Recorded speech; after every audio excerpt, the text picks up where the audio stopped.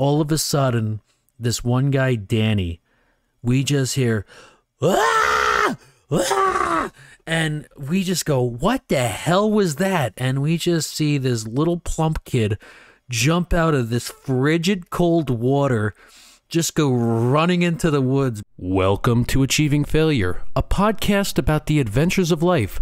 I'm your host, Chris, and join us each week as we bring you a collection of autobiographical stories that made us who we are.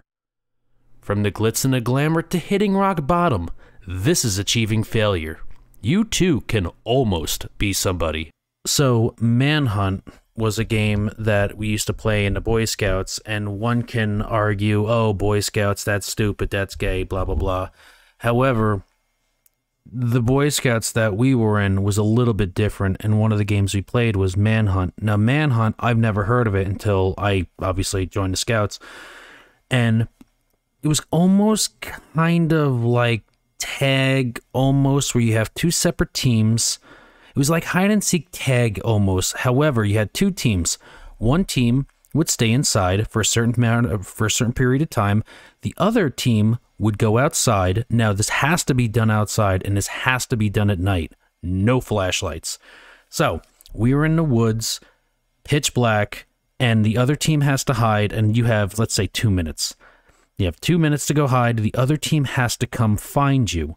The point of the game is the seekers have to find the hiders and bring them back to a designated area of the seeker's choosing, which they consider jail. Now, the point of the game is to get all the hiders into jail and get everybody captured. Now, what makes it interesting is while you have people in this quote unquote jail cell area, if the hider is able to physically tag one of his teammates, they're freed from jail. The problem is, in order to get caught, like the guy has to grab you. He says, "Yeah, I got you." Uh, one, two, three, manhunt. I don't remember exactly what it was, but it's like he has to physically hold you. He's like, "I got you, manhunt," something like that.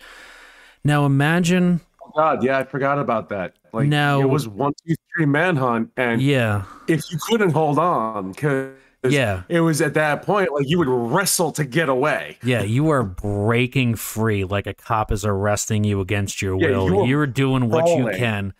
So what wound up just happening was just everything just completely devolved into complete utter and chaos to which I'll kind of turn it over to Mike for some of his adventures now that we've established the rules of manhunt I will kind of turn it over to Mike because Mike has some fond adventures of manhunt also So I mean, we we I mean, we did this for I mean, well over a decade. I think we started experimenting with Manhunt at Sunset when we were like 12-ish out at your parents' house and your parents live up in the hills and the woods which by itself are treacherous enough. I Mhm. mean, it is literally the hills leading into upstate New York, right at the New York New Jersey boundary. It is mountainous, it is steep, really easy to get completely fucked up, break a leg, fall down, impale yourself on shit. Like, really, really easy, especially when you're playing in the pitch black and you're using moonlight or starlight as your fucking guide. We always had established where home base was, which is where everybody had to start we always established where the jail was. And jail and home base were never allowed to be co located because they had to be far enough apart that it made it more reasonable for people to be able to hide to go and get them. So normally the team that was being hunted would have more people than the team that had the hunters. The hunters was usually like two or three people. The team that was being hunted had like maybe five or six and like to go and find them. So you would try to hide and conceal yourself. And I mean, like, this is, you know, m- mid to late 1990s, North Jersey. There's not cell phones. We're not talking using flashlights. There's no walkie talkies. We're covering ourselves in debris and dirt and mud and leaves and sticks and trees to conceal ourselves as if we're fucking Navy SEALs hiding out from the fucking Gestapo. And like, we're consistently moving. You would keep a one position, but you wouldn't stay in that position. Because as soon as the hunter came near you, you would go and like run as fast as you can to relocate or get your eyes on the jail and get your buddy out. And it was a constant metamorphosis of just absolute chaos. And it only got better as we started at first. You know, we started 12 or 13, so we weren't legally allowed to drink. And then occasionally we'd find or steal beers and whatnot.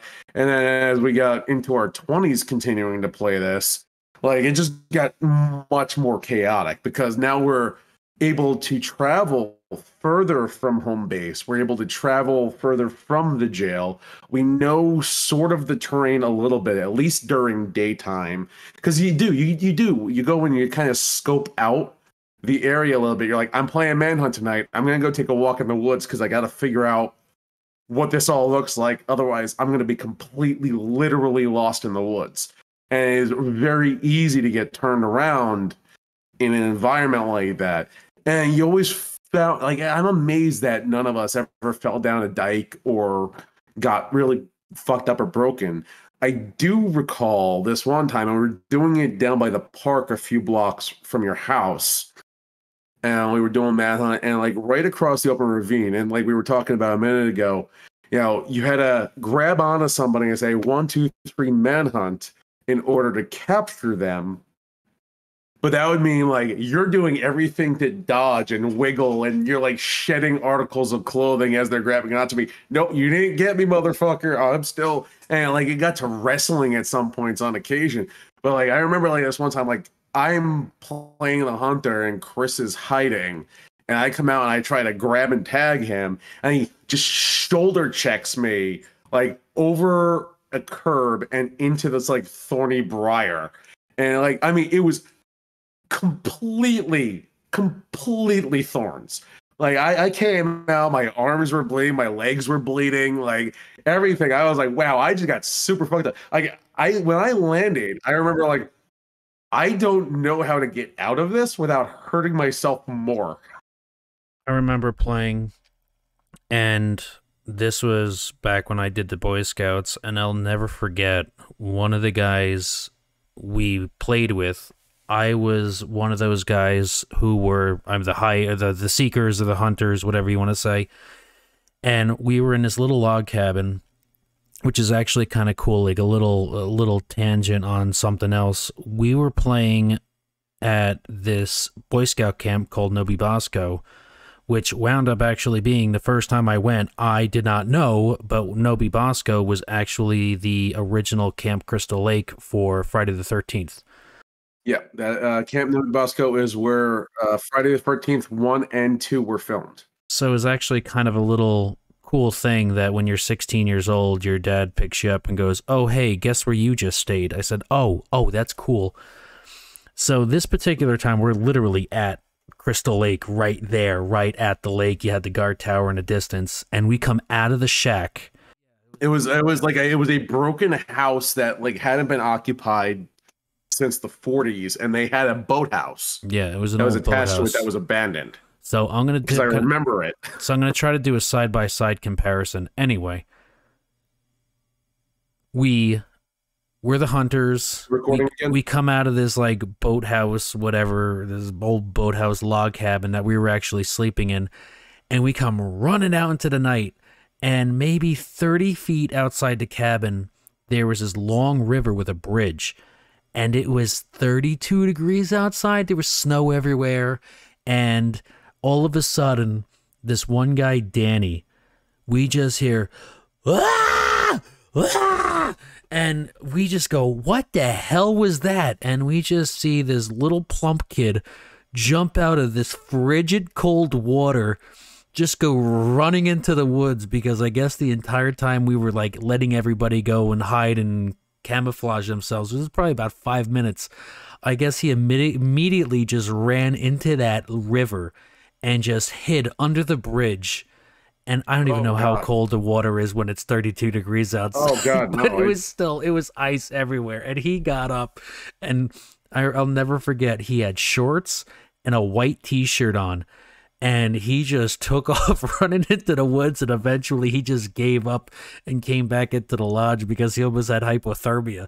And I remember they were like, "Okay, we got to like stop playing this game." And I think that was the only time that we actually considered it dangerous because a lot of people rolled down hills, fell into trees, the trees and People got re- a lot of people got really hurt playing that game, but never Mm-hmm. our group.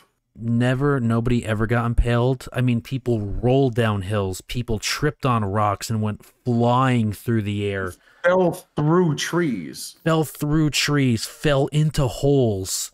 Never never broke anything. But I mean, the, we were also the generation that at the same time, like we were the ones that really identified that playgrounds are a lawsuit liability. You can't have a merry-go-round and expect, you know, 16-year-olds to not use it as a death spinner to see who gets to fly off at the highest velocity, how long you can hold on before puking. Like we were the reason why like a lot of th- there's no longer tire forts in places anymore because of people like us. That's uh but that's a reality of the time. And but I never was at No-Be-Bo-Sco in winter. I was only ever there during the summer. But I do still remember some of the legends too, because I mean my my I mean decades, decades earlier, my grandfather had been a scoutmaster at the camp and my mother had worked in the medical tent at the camp and like I, I remember them telling me stories about like when they did the production of uh friday the 13th the first one like there was still always this rumor that was floating around that like one of the mechanisms uh for the special effect at the end where jason like comes and drags the girl into the lake like was still there and had malfunction and would occasionally reach up and accidentally just grab kids and drag them and drown them Mhm. like I, I remember so many legends from that stuff. But I mean, this is also in the same area that like the Jersey Devil, but granted, Jersey Devil was in theory further south in the Pine Barrens. But you had like Wendigo. You had, I mean, this was in the same area that they recorded Blair Witch years later. The one thing, even though you had all these different legends, the one thing that was actually true was there were these gigantic 50 foot power lines that ran across the parking lot, and we would actually park our cars underneath them. And the insane hum that was coming off of these things, you kind of just sat there getting out of your car. You're kind of like, high voltage ones. you're yeah. kind of like looking up. So you want a fun story about those types of power lines? That's actually how George Lucas and Industrial Light and Magic recorded blasters and lightsabers. Hey, this is your host, Chris, again. I would like to say thank you so much for tuning into this week's episode of Achieving Failure, and we hope you enjoyed our adventures. And if you have a life story you want to share with us, shoot us an email at aflvpodcast at gmail.com. That's AF, Achieving Failure, LV, Las Vegas, podcast at gmail.com. Thanks again, and we'll see you next week.